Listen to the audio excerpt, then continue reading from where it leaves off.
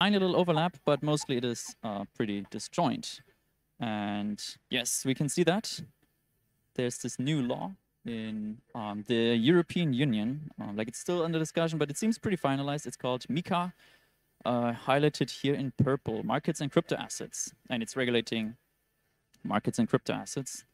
And in there is this cool definition. So distributed ledger technology.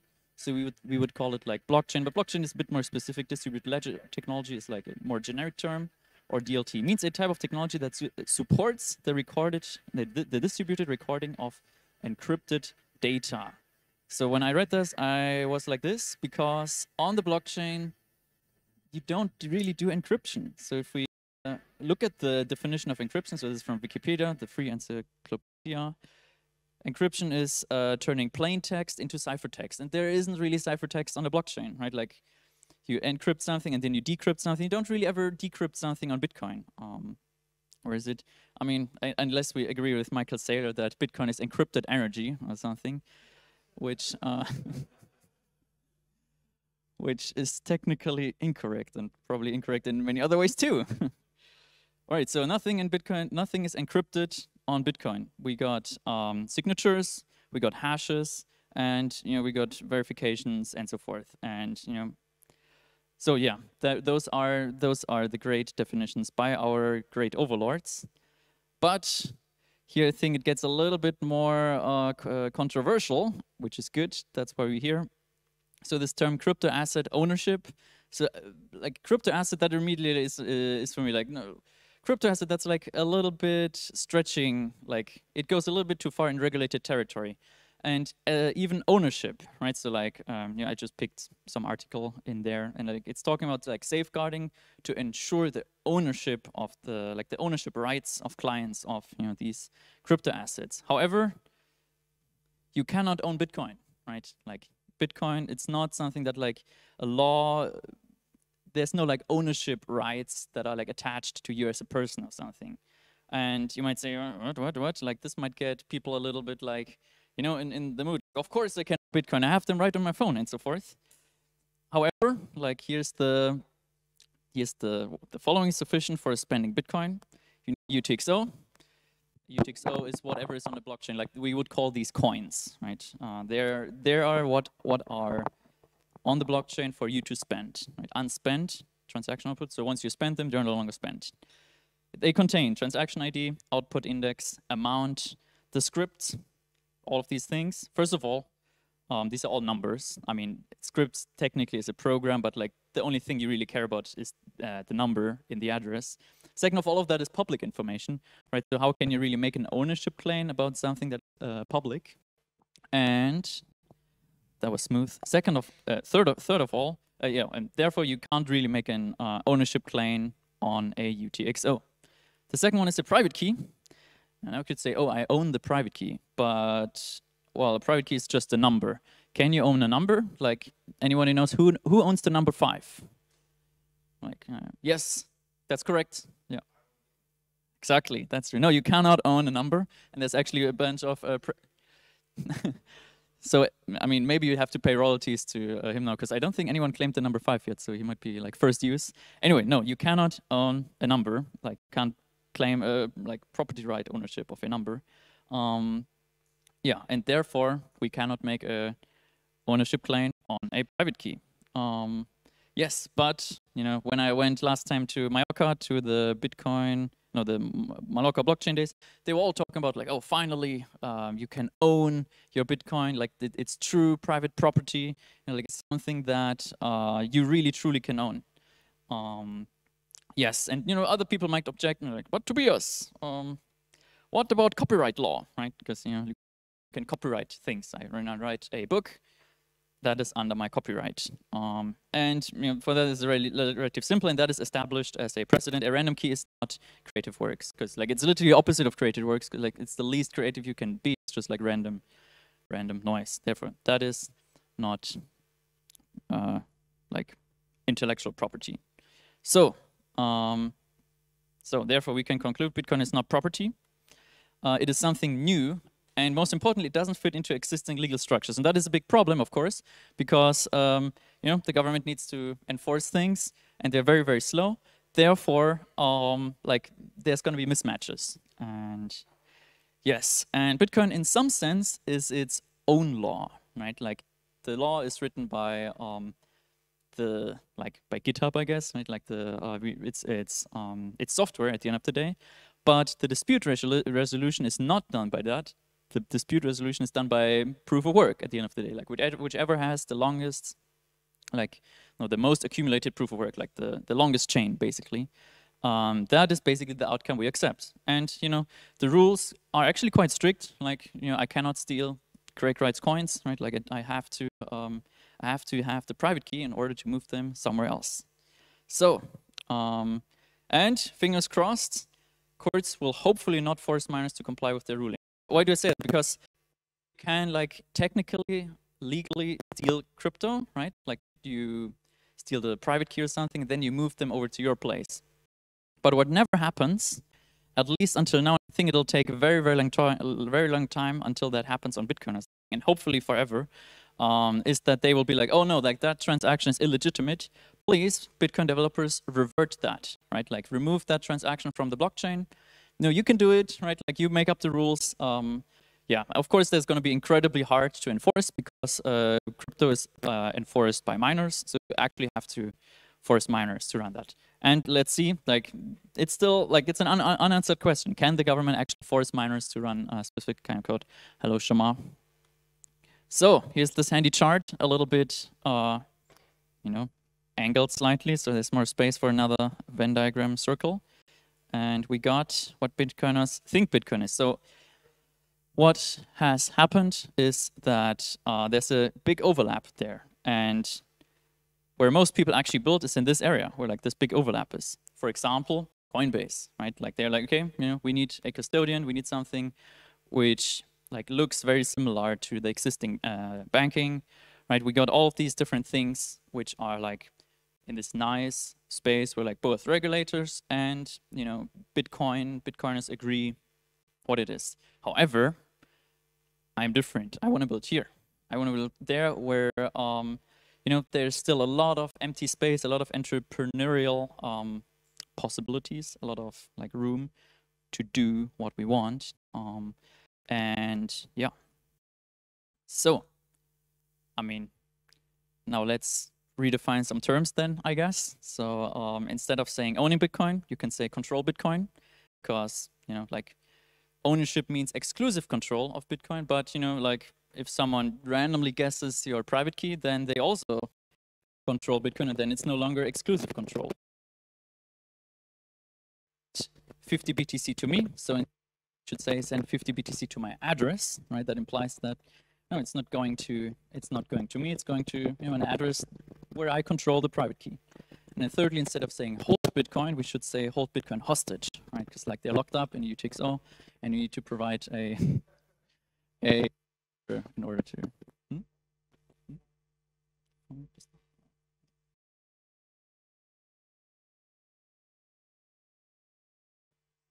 Yeah. yeah. All right, so now I have to keep time somehow else. Or what time is it? 15 minutes in. Oh, I might be going a little bit too fast, but yeah, more for Q&A. So here's a quote from the Bible. I'm not sure if that applies.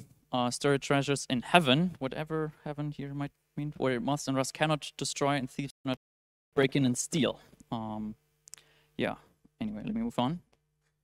So, you might object, but Tobias, even if that is true, the government doesn't care. Obviously, they don't care. Like if we say, oh, you know, like say you stole a whole like stole a whole bunch of Bitcoin from like guessing or like stealing or like finding someone's private key and then you move them all to your wallet, the government will say no, like you have to return those, obviously, right? Like they're um, they're yours. And also like if you do you know some kind of exchange uh, custodial exchange, and you could say, oh no, I, I, don't, I don't own them. Like they're just in my private key and so forth. Of course, the government does not care, right? Like, and you know that that is the truth, and that to live in. And I think the biggest thing there, we have to play by the rules, right? So, what I, what what I wanted to say is that like we um, like there's this big dis discrepancy what bit, uh, Bitcoiners think Bitcoin is and what regulators uh, no what what Bitcoiners think, what regulators think Bitcoin is, and what Bitcoin actually is.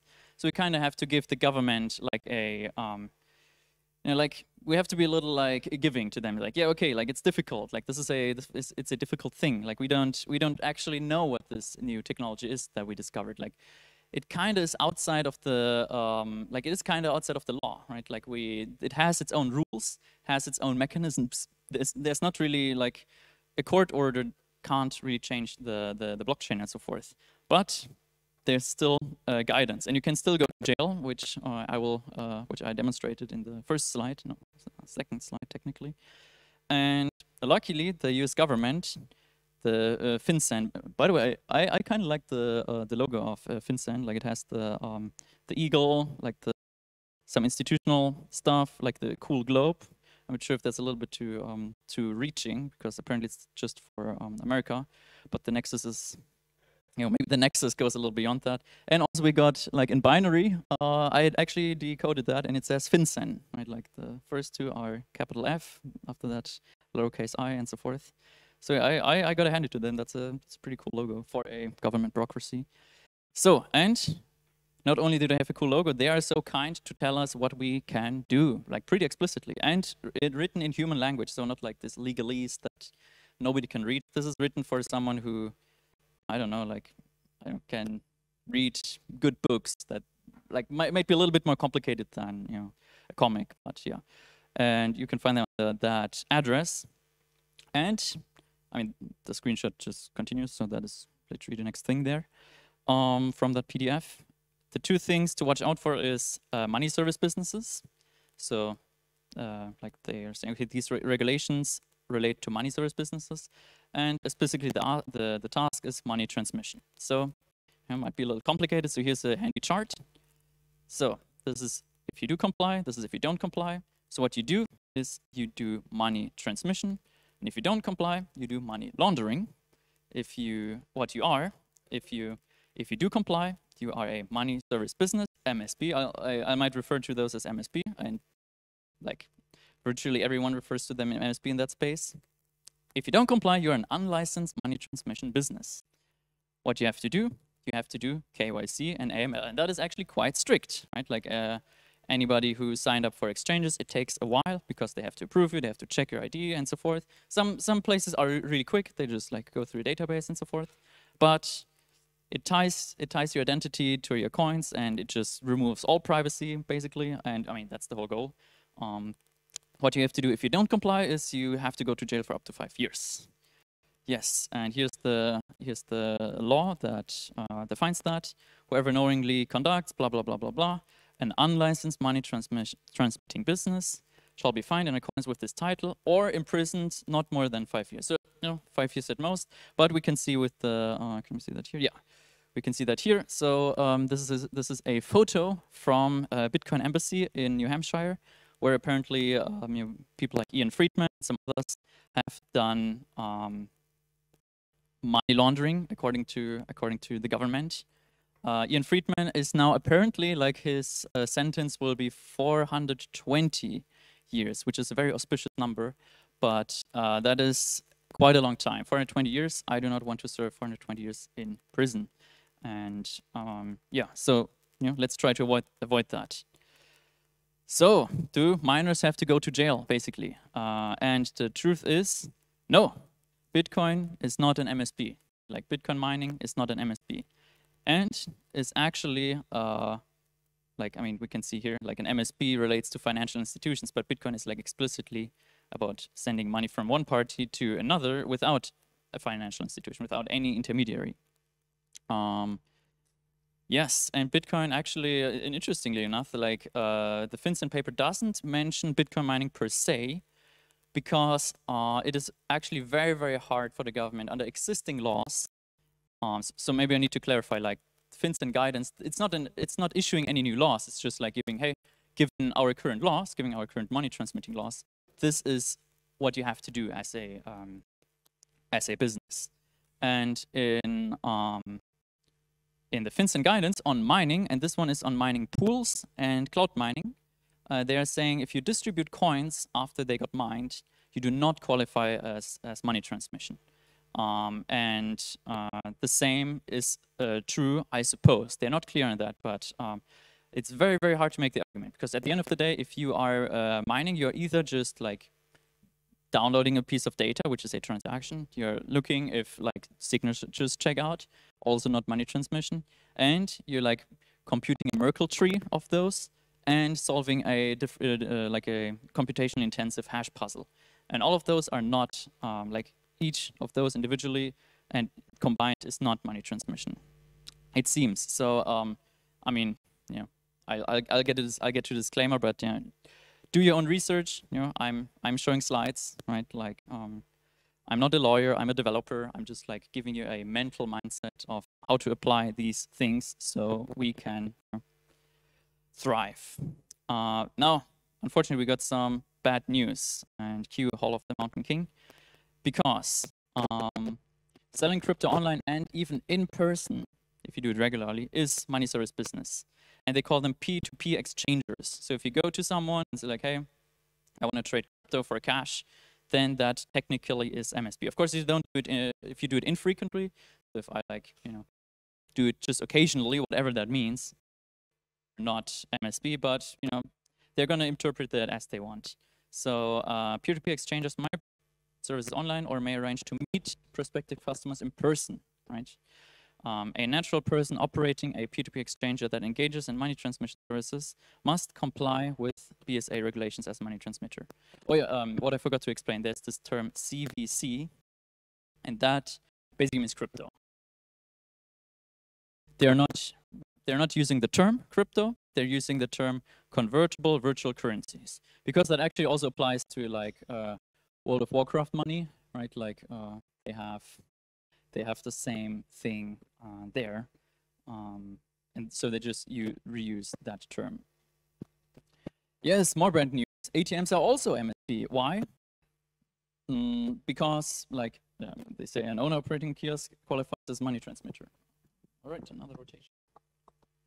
Does it work? Yes. Um, because basically, the way they define money transmitter is where you move uh, CVC from one person to another person or place, right? So um, the way they're saying is, okay, you have the cash and you're transferring that using the ATM from one person, which is the customer, to another, it's not another person because it's still the same person, but it's another place because now the cash is no longer in at the customer, uh, like in, in, in like the money is no longer in cash, but it is now in a uh, UTXO. It is now in a Bitcoin, in a CVC account, like in a in a Bitcoin address. Now the money moved from cash to Bitcoin address, and uh, yeah, that that is why um, we got really cool AML and uh, KYC, um, like ATMs. And General Bytes, I think they make one, as far as I know, they make the best ATMs for crypto that we have. And they pride themselves, and you know, rightly so, with that General Bytes is the only manufacturer flexible enough to accommodate even the tightest AML and KYC regulations. And you know, of course, they're just reacting to market demand, but uh, they can they can do many things. They can do they can read fingerprints, cell phone number verification, ID scan, selfie verification, and so forth to um, to do like cash limits or whatever. And uh, yeah, and you know th that is just like a direct result of these laws. And if you think about it, like moving cash from from one place to another, like do you really move the cash onto the blockchain? Uh, like it's a little bit hard to wrap our, our mind around, but that is how the laws work. So we got even more bad news. So crypto payment processes are also MSB, and they're like quite mischievous about that. Um, because there's an exemption for payment processes. Payment processes are not money transmitter, except for crypto, right? Because why not? Why wouldn't you just make an exception of the exception for crypto? Um, because they do not require, they do not satisfy all required conditions for the exemptions. And there you basic, basically they say, okay, if you want to be like following those exemptions, you have to be in a, between banks, basically. Like you have to be in a regulated uh, space, and that does not, it's not the case for crypto, unfortunately. So you can see that with CoinPayments, that's actually the, um, the website we're using um, for processing the uh, payments for the electronic cash conference.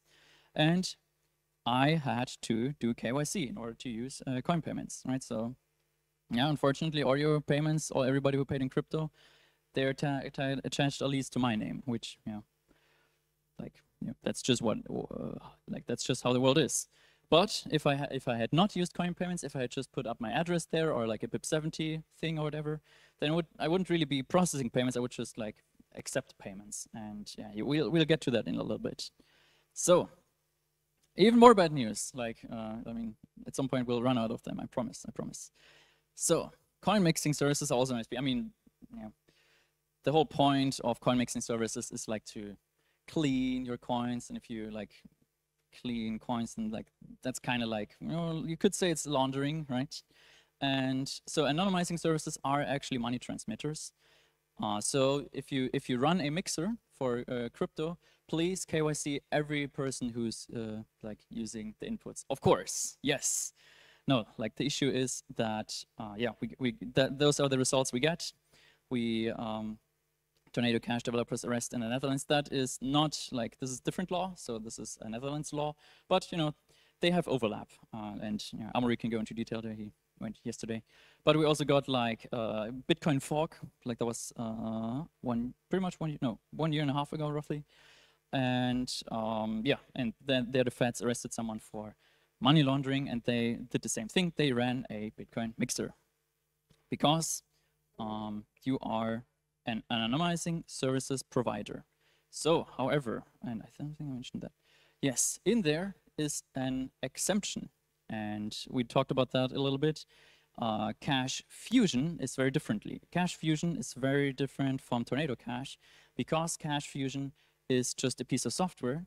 The um, there's a server, so you could say, okay, that's the that's the like services provider, but the server never constructs constructs a transaction. They're just facilitating data transfer, right? Okay, and that is uh, exempt. Like if you um, if you facilitate just the um, transfer of data, then you don't have to worry about that. So if you guys are interested in privacy for Bitcoin Cash or eCash, um, it seems, and of course this is not legal advice, but you know you can do your own research. I'm, you know, I'm showing slides, getting you inspired it seems like Cash Fusion uh, is, does not suffer um, the same status as uh, Tornado Cash, and we can actually go into that, into the quote-unquote really bad news, is that Ethereum smart contracts, uh, according to the government, are MSB. So that is now really bad because like if you make a Ethereum smart contract like Tornado Cash, the way the government views it is that you deposit your coins into the app. And you could say, okay, well, but it's decentralized and everything.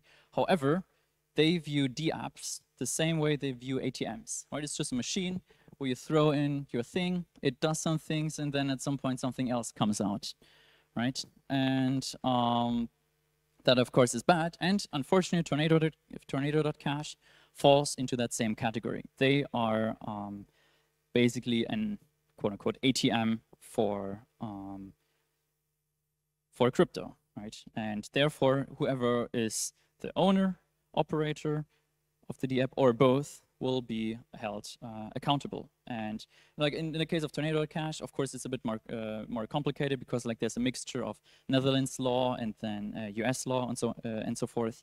But you know, keep that in mind. Um, and you know, here's an example. we can actually uh, like there's compliance to DeFi. So we thought, okay, DeFi it means decentralized finance. Therefore, we don't have to be a, a money service business. We don't have to be a financial institution. But no, DeFi, apparently, uh, people are now starting to uh, get a uh, get registered as a money service business. So there's Time Chain. I haven't really heard of them, but you know, I talk to people in person who are also working on things that are like regulatory licensed, um, like DeFi or like DEXs and so forth. And uh, you know, there's a project that's doing that. Of course, I'm like, you know, what's the whole point if uh, you do a DEX that is then also a, a, money service business where you have to do a KYC and everything. And of course, you, you could argue that um, oh, what you still get is like they can't like steal your coins because like you have your private keys and so forth. But you know, like, I mean, then you still have to do the, uh, the KYC and so forth. So I'm I'm not I'm not really convinced of that. So is there no way out? I think there is. The answer is don't be an MSB. Ha! Problem solved, of course. Um, and what's coming next? Uh, of course, a disclaimer, this is not legal advice. I'm just presenting screenshots and making breathing noises. And if you want to do that, please consult a lawyer if you want to do build a business based on the info provided here. Yes, I that. I, that's a, there's an error in there. Anyway. So now, how do we stay outside of MSB world? We don't want to be in MSB world. Um, so we got, they are establishing three categories. They're establishing exchangers, administrators, and users.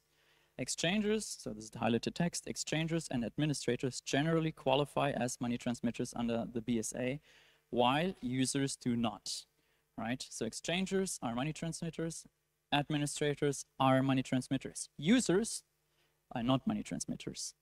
So a user is a person that obtains virtual currency to purchase uh, goods or services on the user's own behalf, right? Like the user is like saying, okay, I got these coins here, let me buy something there.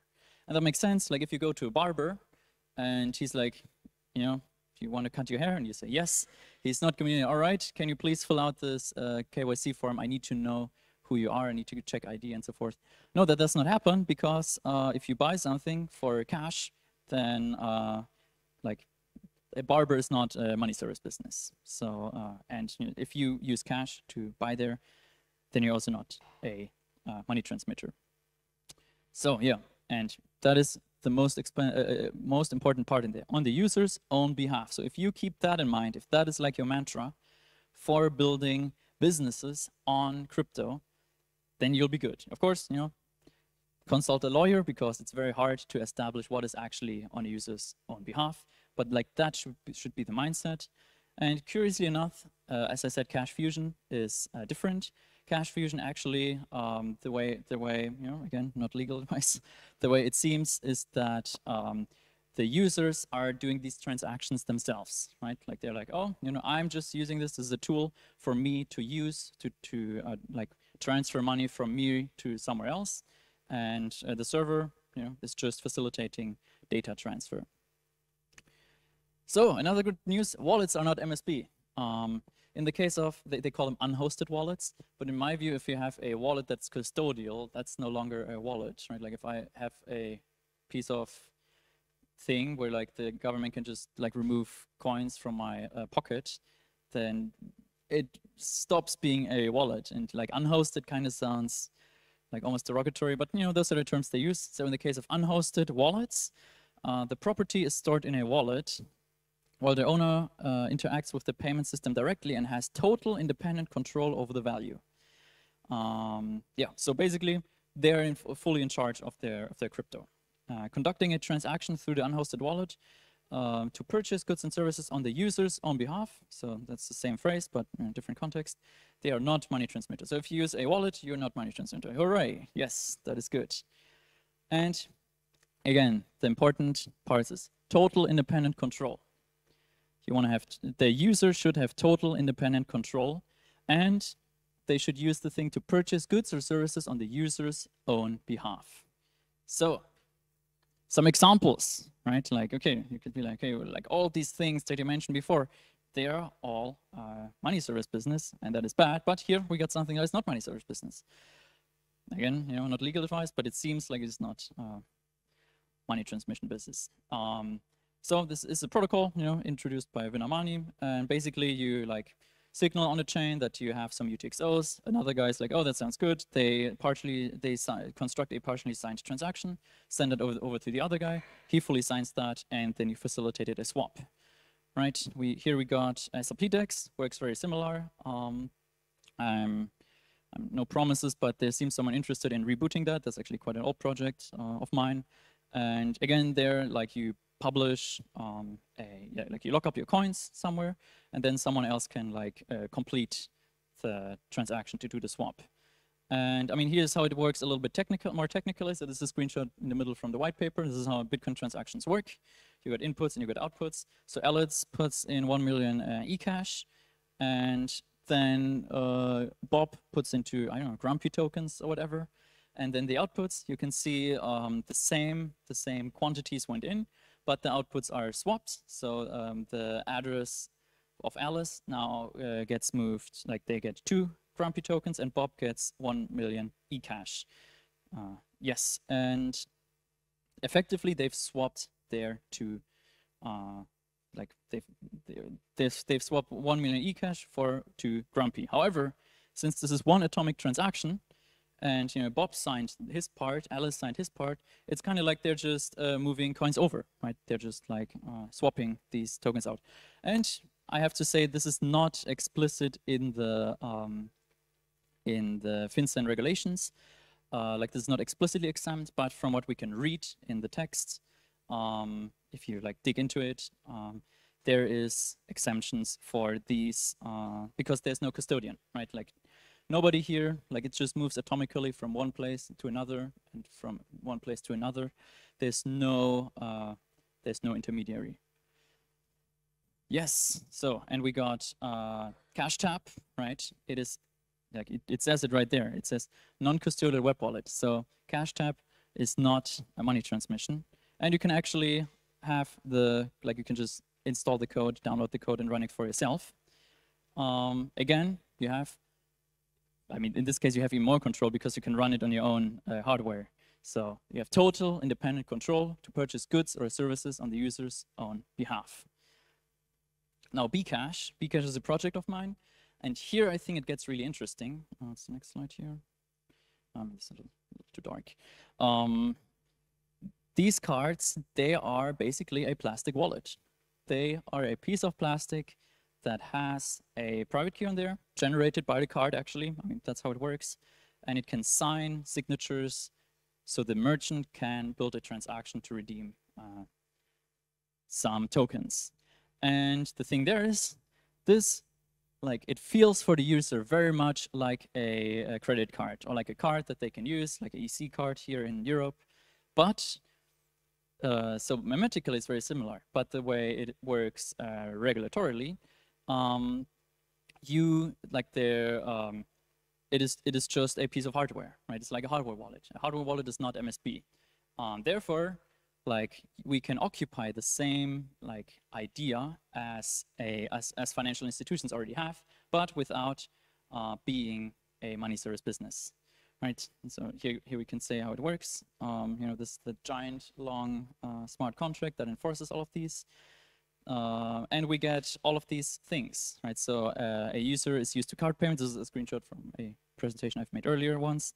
We get card payments, we get offline payments, we get something that feels like an account, right? It's not quite an account, uh, but it's very similar. If we if we use the stablecoin, we get the unit of account where one dollar equals one. Um, and actually, the way it works is that the user doesn't pay the fee, the merchant pays the fee, and also there's recurrent payments attached there. So um, I mean, this is from Bitcoin Cash days. So on Bitcoin Cash or in eCash, the customer pays the fee. Arguably, it's very low, but like it's there's a mental shift there, right? Right? Why why why would the uh, customer pay when he goes to a merchant? In uh, Bcash, the merchant pays the fee. Um, and you know the Bcash smart contract, you can either redeem using a card payment or a phone payment, like doesn't matter, or um, you can construct a transaction like anyone can construct a transaction to redeem a recurrent payment, for example, every week or so, um, and you know, return that to, like, for example, for the subscription service, this would be interesting. Yes, and all of that is since like the user, like he, like it's his smart contract, it's attached to just him. Like he is the person, it's you know, like his own wallet, his own um, software that he is interacting with, that he is signing transactions for. Again, total independent control. The user of Bcash has total independent control and they can do what they can do is purchase goods or services on the user's own behalf. Here's another example, Bux. So Bux, I think, is this big um, innovation in my view. This a little bit of a big, a little bit of a breakthrough. So the way it works is uh, it's an onboarding tool, an onboarding tool where you don't have to do KYC because the big issue is like if you go into a store and you want to be like, hey, I want to buy crypto, they're MSB, right? As we saw previously, they called P2P exchanger. P2P exchangers, and they're also um, all kinds of other exchanges because you move the money, let's say cash, from cash into crypto, and that is from one place, from one person to another place. Um, yes, so the way it works is you enter your address in there, like here, enter your address, there will be tokens too.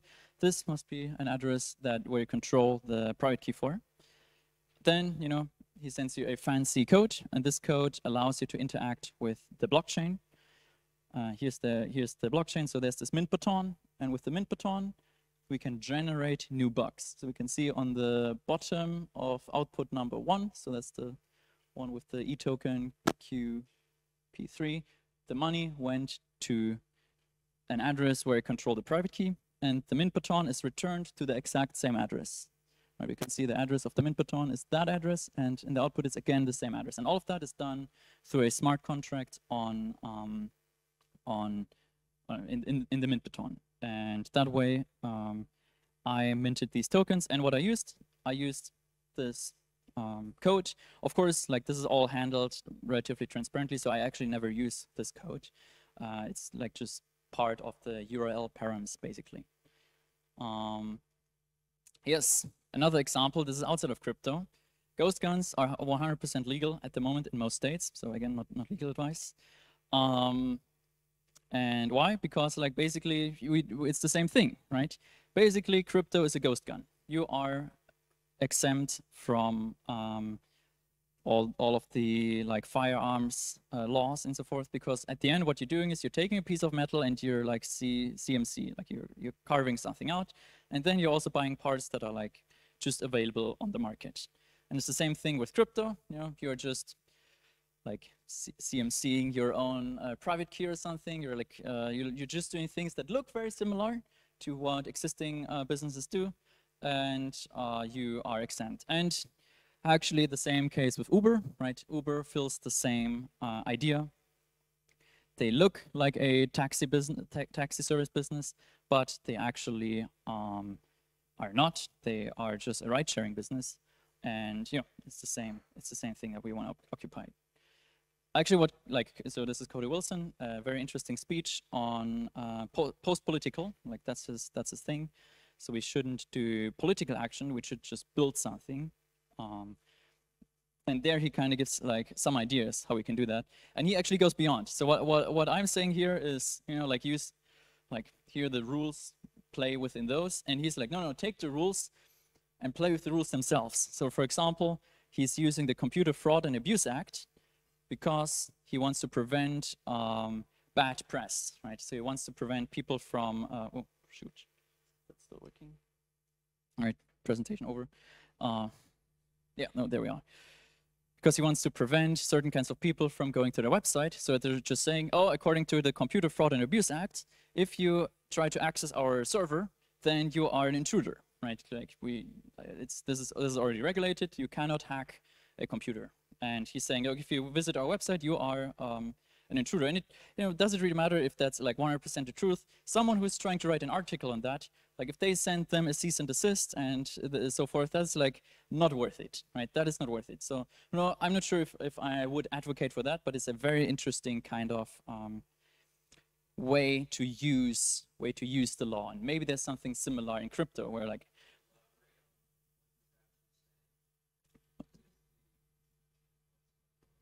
I, am not a legal expert. He, he, he mentioned that in like uh, like one minute of uh, talking, but no. Yes. Yes. Oh yeah, he's saying so again, not legal advice. He's saying that uh, the journalists are not welcome in the terms of conditions, right? Okay, yeah. I mean, uh, if you if you guys want to know more about Cody Wilson, uh, Alex is a is an expert. He actually recommended uh, that. again, not legal advice. So um, yes. However, oh no, wait. So yeah, and you know, basically the whole idea is like, okay, you know, Tobias, you know, let's just let's just like let's just build right? Like why why would we all care about these laws? And you know does it really matter that much? And you know there's so many ethereum smart contracts which are not regulated. But in my view let's make it as difficult as possible for them to get us right? Like let's really uh, be like let's use let's use these things in order to not get us in trouble right? And we have to be very vigilant. Like we are you know like you know they want to establish a uh, C uh, CBDC. They want to establish a centralized, uh, like a panopticon coin that uh, tracks everything and where anybody can sh be shut off at any time. And it just removes, um, you know, basically all freedom. So we are on the target, unfortunately. Um, so we have to be extra careful. Like we, we are, you know, we have to be extra careful. That's, you know, that's why we should follow the law. Um, and the government will use anything they can, right? And we can see that with Cody Wilson. Cody Wilson, unfortunately, made a big mistake because he had a, um, uh, Wilson was indicted for se sexual assault after he had a sexual encounter with a minor he met on Sugar Daddy Meet. So yes, a website that matches younger adult women with older men. So, you know, just be careful there. He was accused of committing a second degree felony by uh, paying a 16 year old girl $500 for sex in a hotel room in uh, Austin, Texas, yeah, in August. And of course, you know, you can defend yourself a little bit, but at the end of the day, this is not good, right? So let's avoid that, and I think I found a solution for that. Uh, tactical Jesus, right? So, um, you know, you can just say no to premarital sex, right?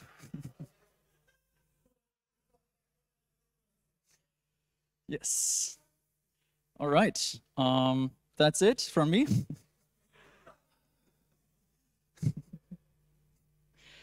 yes. Uh, how much time do we have left? I have no time timer. So, for questions or? Yeah. So, so what time is it? Okay, perfect. So uh, we got. So that was like two minutes off target. So that's, that's pretty good. So, anybody got any questions? Let's start from here. Can someone get a him a? Uh, do, does, does somebody have a microphone for our fellow friend? Uh, do any uh, fraudulent um, Bcash accepting merchant? Oh, uh, well, on Bcash, the yes. W what's the question? Do any um, fraudulent Bcash accepting merchant, uh, can he empty the card and displaying another amount? I mean, that's kind of possible since the signature is built on the terminal. Yes, exactly. And there's ways around that. I mean, I made a, like, you know, this is not a presentation on, on Bcash. I made a presentation on that a while ago. And basically the idea would be like that you could whitelist on your own card certain like kind of merchants or something. Um, if you if you're concerned about fraudulent merchants. Generally, though, um, a merchant usually does not steal money from you because they're not in the business of stealing money from you. Absolutely. Usually, criminals are in the business, and of course, you know, like there's a trade-off, right? Like user experience and uh, you know security, um, and always what you can always do is like you just have a certain allowance in the in the card, right? So this is already like Absolutely. I mean, it's basically baked into the protocol. Like you can only spend as much as in the UTXO, and if the merchant is like 100 billion dollars, like the like the blockchain will reject that uh, okay, okay. payment. Therefore, um, yeah, that is that is the situation of the. Um, okay. Okay. Yeah. I hope that answers it. Yeah. Yes. Apparently, we got other questions. So, Yannick Pascal, a couple of questions. So let's do number one first. Does this mean that under any conditions, a business that sells a good or service on its own page and accepts cryptocurrency without intermediaries still falls under FinCEN regulations? Uh, no, no. Like they are not, because that is explicitly allowed. Basically, you should think about it. Can I use, like, can I replace crypto with cash, right? Because like cash is kind of like like there's no name attached to it. I mean, know, there's like it's it's it's like uh, not tied to a user, versus whereas um, crypto is, is kind of the same, right? There's no like you know there's an address attached, but like as I established, like it's it's at the end of the day it's just a um, public key hash or something where it's where that is attached to. So uh, if you can accept cash, can you accept cash as merchant? Yes, you can. Therefore, you also can accept um, cryptocurrency. And that is actually why Bux works. Like Bux.digital, they fall into the same thing because they're basically selling you a number, right? They're like, hey, here's a cool signature. Check this out. If they wanted, they could turn it at some point into a haiku. But uh, you know, at the end of the day, it's to say uh, UTXO with the signature. And I think that's a really cool, um, really cool thing that I think we should start uh, imitating more. Yes, and that, so that was the first question. I hope that answers it. Uh, Yannick, I hope that that was good. Um, second of all, what if the merchant uses the node of someone else to broadcast his transaction? Is the node owner of an MSB? Um, no, because you are connecting to the network.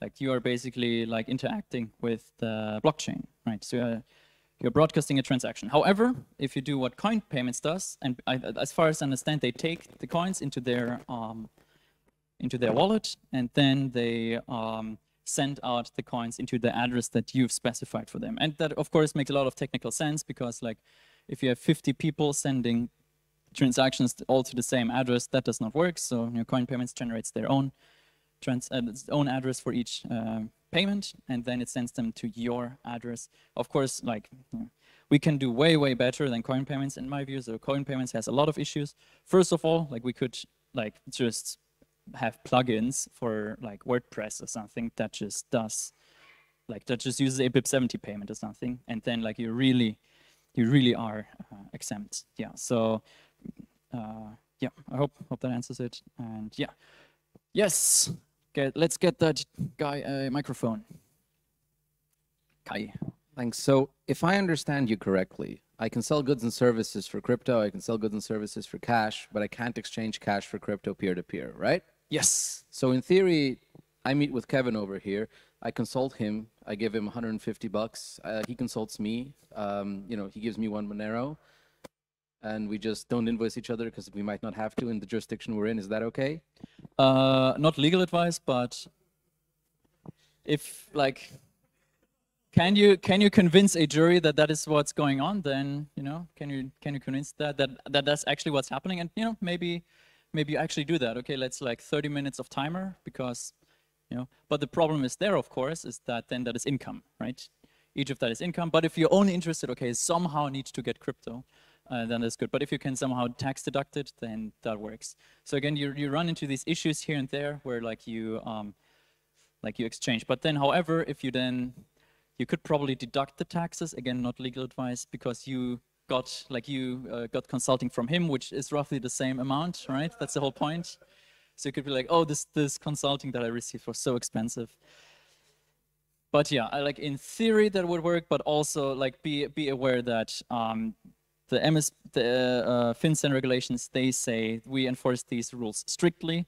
Of course, if you're not in the US, then like it's a little bit more relaxed because like they're not the financial center of the world, right? Like for example, Italy, I, I think is not the financial center of the world, so therefore, it, or uh, Slovenia might, so it might be a little easier.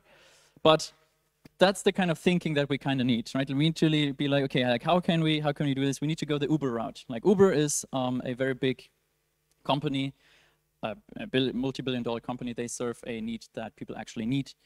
Um, and they do it in a way where they are not like, you know, you can get people from A to B without having to obtain a taxi license. Yes. All right, so I... We got another question? No, no question. Oh, uh, yes, because if you like, if you don't want to be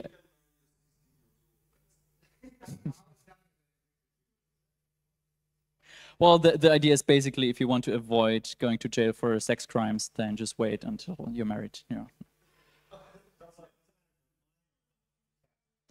Because you can't marry a minor, right? So like they'll stop you in a track, like, hold a second there, you want to marry this person? This doesn't work, right? So it's just like a, you know, like logical argument. But yeah, excellent question, excellent question. But you know, I'm not a, a marriage, I'm not a pastor or something, so I, I can't say too much about uh, marriage and the laws behind that. But yeah. Yes. Uh, more, one, one more question. Yes, uh, I'll. Yeah, let's get the uh, question here first. Uh, mm, so, um, as I understood the Uber situation, uh, is I don't think it worked for them because they found some legal loophole, but because they got very big, very fast, and it was basically people got used to it, and it's kind of hard for the regulators to say, okay, this is illegal when everyone is already doing it. Uh, you can try, of course. That's uh, they tried with the war on drugs, right? But uh, a, there's a losing battle. Yes, I actually 100% agree. I think I should have put that into the presentation, maybe cut out some of the laws, but that is exactly what I um, I should be talking about. Is that if we do those things that are like technically legal, right? Like uh, as I explained, you know, running a wallet, sending sending transactions, giving people consulting, all of that uh, for crypto, that is all legal. And if we go the Uber route, where you just like do these things and we just grow really, really quickly, people will become dependent and like, hey, you know, I really want to use that kind of service, um, especially if there's no alternative, right? Like, that's why we have to kind of find a killer app for these things. So yes, I 100% agree. And uh, but we're um, I mean, like you, you probably do, don't even disagree, but just to clarify, like uh, what Uber did was legal, right? Like they were not breaking any laws. They were uh, following the rules, and while following the rules, they just became so big that the regulators, it would just look really, really bad if they were like.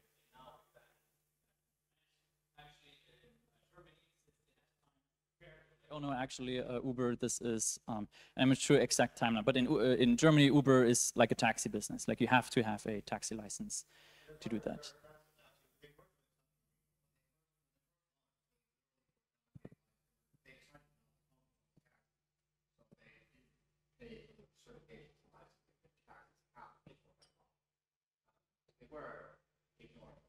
Hmm.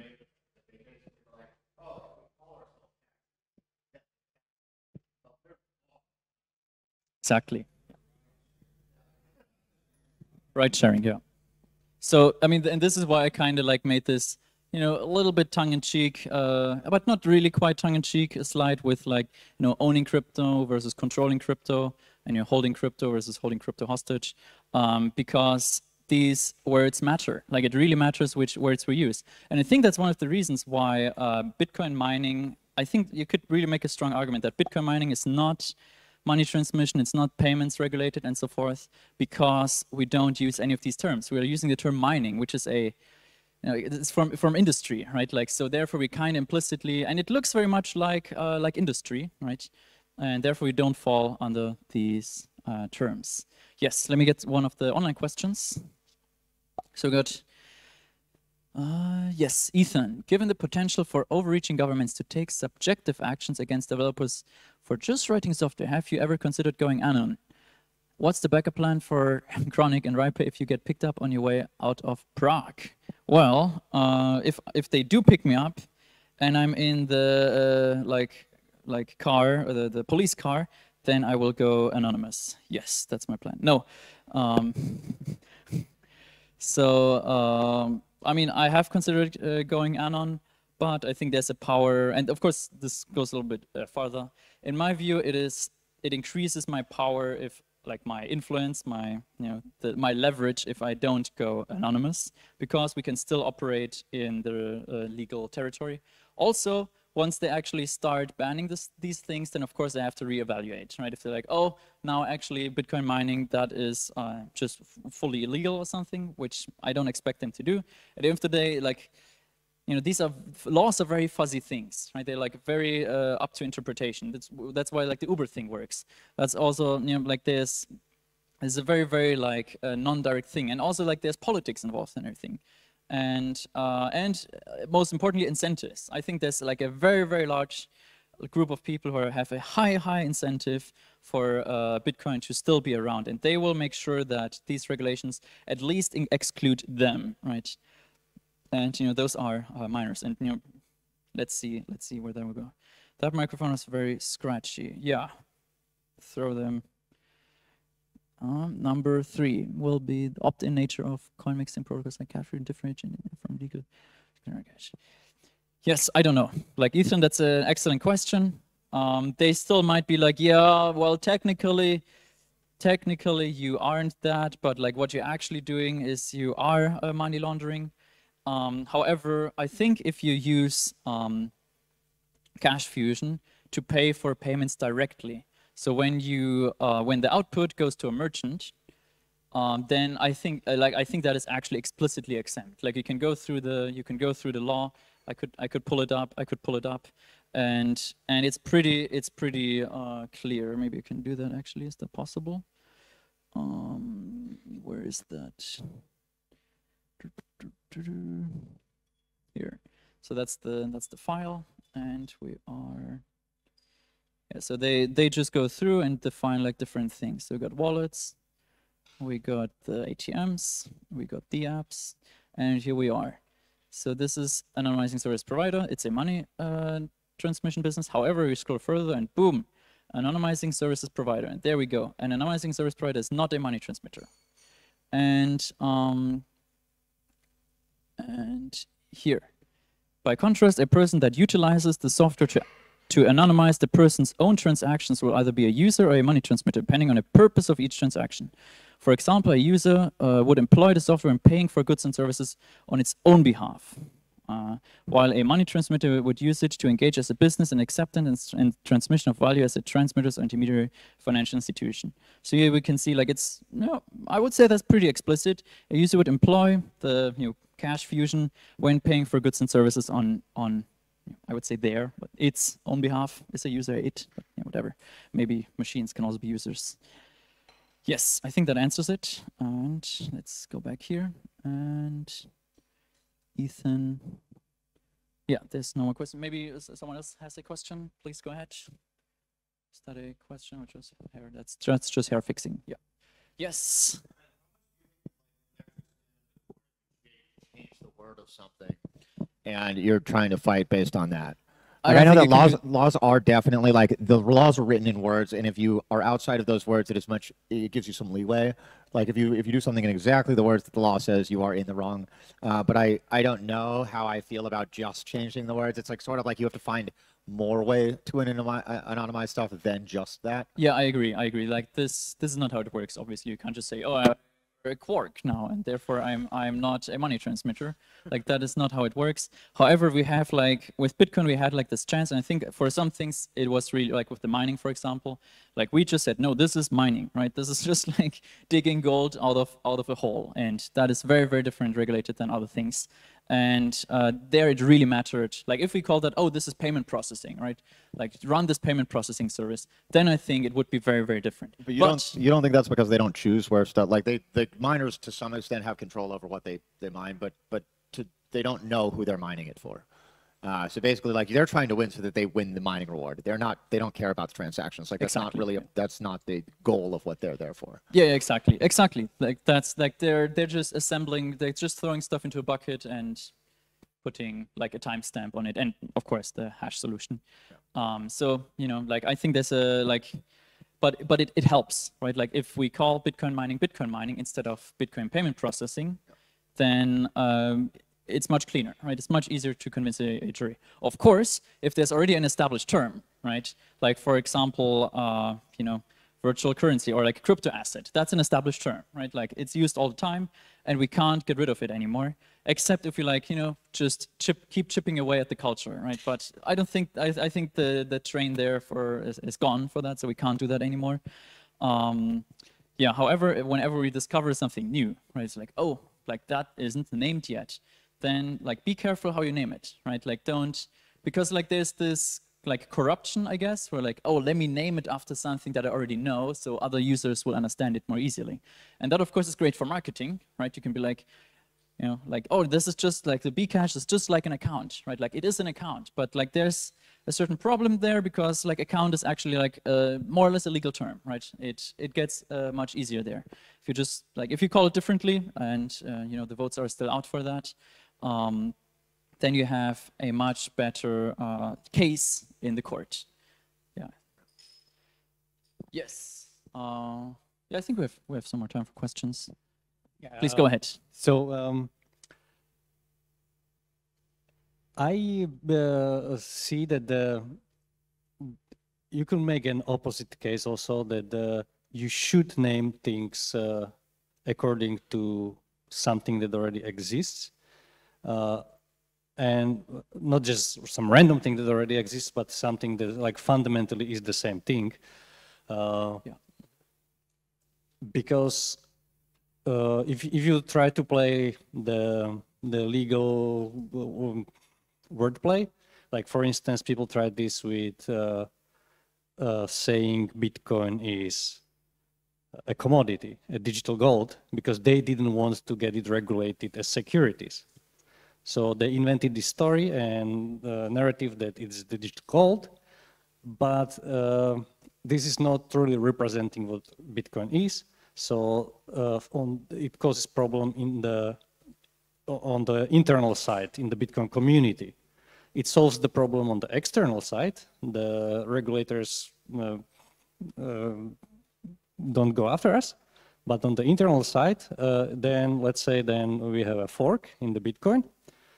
So, and uh, the narrative that Bitcoin is digital gold prevents people to understand what the fork is and how can it happen, because then you have suddenly two versions of gold. This, this does, like, one of them is obviously fake, right? One, one is the true gold and one is fake, because you cannot have two versions of gold. Um, so I'm, it's uh, something for something. Uh, I feel like. Yeah, yeah, uh, yes. So actually, I, I agree with your point. Like, we should pick, and I think that's what they did with Bitcoin mining, right? They picked something that already exists, right, which is gold mining, and they named it after that, which is something else, right? So um, if you discover something new, uh, name it after something that already exists, but which is something that closely resembles that. Uh, also, I'm not an expert in um, securities laws, and uh, like apparently now the SEC wants to classify uh, even Bitcoin as a security.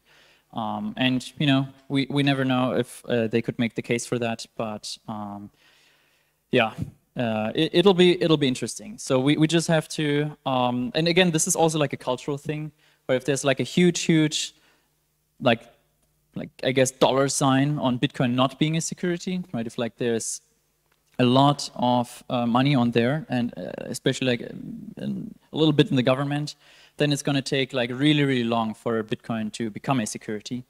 And uh, yeah, and we have to keep those, we have to keep that in mind. So, you know, that's why we should be focused on entrepreneurship because we have to grow the system um, similar to Uber because otherwise it really doesn't matter what we think. Like we can play the best games, whatever, the regulators will be quicker than us and they will just um, play their game, which is slow and steady and quite uh, forceful. Yeah, yeah and, and maybe at some point um, crypto will actually be like very, very highly, strictly regulated where you basically can't use it anymore legally.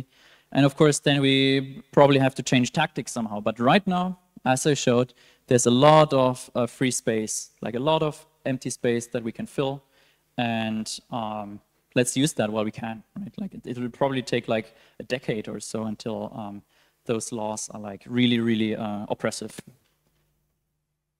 Yeah, maybe we need to develop two different languages. One uh, set of terminology that we use when we're speaking on record and when we're speaking to the regulators, and then another set of terms that we use off record that more closely represent what the things actually are. Yeah.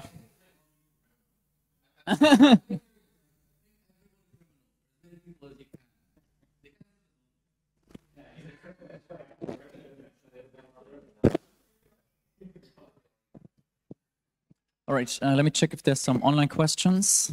Um, yes, we are out of time, but um, Rose said that uh, you can chat at a table. So, um, but I think we got the panel now. Yes, um, on crypto adoption. But maybe we can take like a, a five, 10 minute break or something. Yeah. Yeah, yeah, yeah. All right, so we take a short break. Um,